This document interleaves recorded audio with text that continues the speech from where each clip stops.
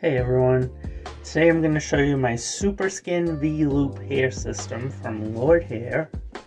It's currently my favorite system and it's the system that I've been wearing for the past four months. I just got a new one and I'm going to open it up and I'm going to show you how I apply the system, a few different ways that I attach the system. This is the system here. I get a number three brown, just placing it on. It's really fluffy because it's new, so I'm going to wet it down and all that jazz. I'm going to glue the front half on first. So I'm going to take a little bit of the gel. I'm just going to... Now I'm just going to pull this down. Hope for the best. Now I'll put some in the back. Just flip up the back. And I'm just going to put some more gel on them. Just on my head.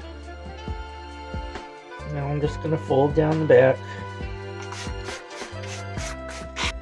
It's really nice hair. Look at that. Nice.